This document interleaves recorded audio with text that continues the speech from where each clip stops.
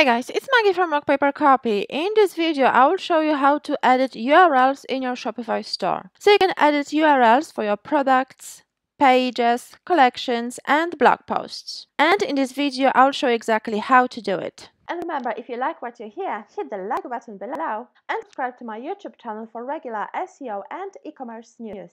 Also hit the bell button to be notified every time I upload a new video. Now let's get started. So first of all, let's explain why editing URLs is so important. It's because Google prefers shorter URLs and Shopify by default has very complex URLs, especially for products. It's because your product title is displayed in full in your URL and having simple and very easy to understand URL will help you improve your SEO easily and help you boost your organic traffic from Google. Also remember it's much easier to edit your URLs at the very start of your store because editing URLs later on, after a few years of running your website, will mean that you will end up with a lot of broken links because people finding you through previous URL will see a lot of error pages on your website. So while Shopify creates automatic redirects, the mistakes happen. So if you edit URLs, remember to check for any broken links afterward and fix them as soon as possible. Okay, so how to edit your URL?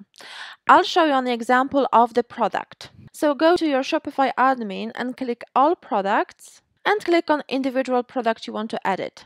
Then simply scroll all the way down to the search engine listing preview at the bottom. Click Edit Website SEO. And at the bottom, you can see the URL you can edit. Now simply remove the section you don't want, leaving only the element you want in URL. Also, make sure that the Create URL redirect below is ticked blue. Otherwise, Shopify won't create automatic redirect for you. And remember, it could be the name of the brand, it could be your keyword, it could be a single or two or three, up to three words. I don't recommend going over three words because as you can see, default URL is already quite long. And this is just for the product. For the collection, it would be name of the collection, then products, and then your product URL. When finished, simply click Save.